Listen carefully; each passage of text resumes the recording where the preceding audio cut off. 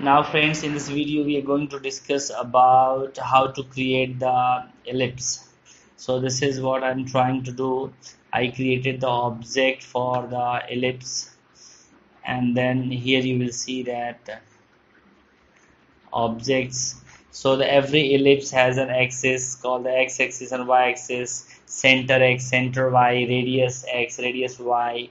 And then I create the group object and then in this group object I will just add all the children means two lines and the ellipse. So here it goes and now so it is just like the two lines are there x a just representing axis because I want to draw the ellipse with the two axes major axis and minor axis now here I'm just trying to explain you that how the grid system works in um, graphics on computers particularly in Java.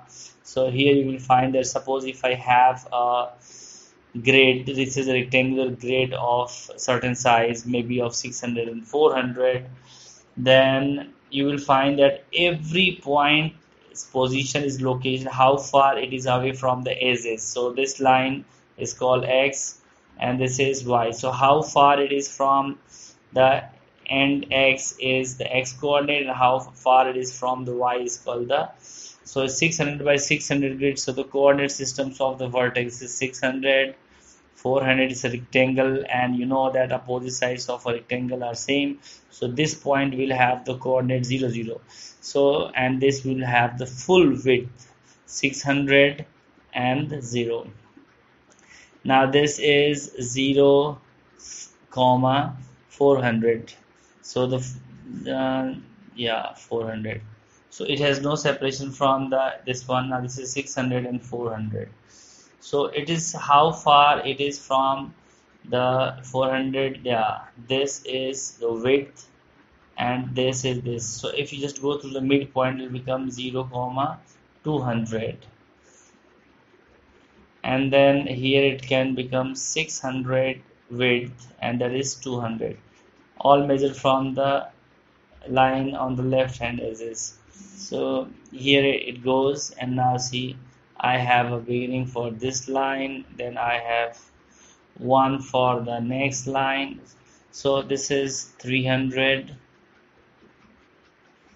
and this is 300 comma 0 now if I come down at the center this is 300 comma 400 because full height is there.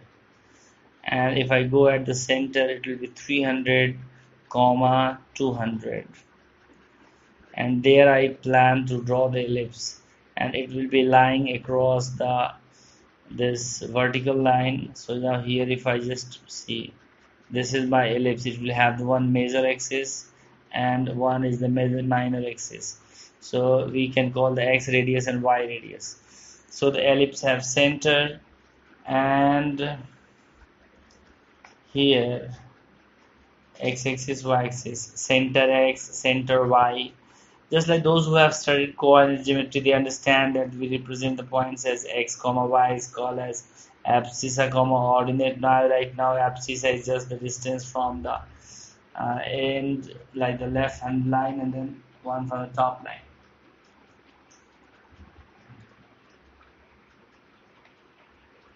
So I create one more class circle class. So I have two lines and uh, one ellipse and one circle. So this is the center x coordinate 300 and the center y coordinate will be 200 means it will be just located on the 400 side the width of the like the center point of the rectangular grid what I have drawn in the display on the paint. Now I use the circle and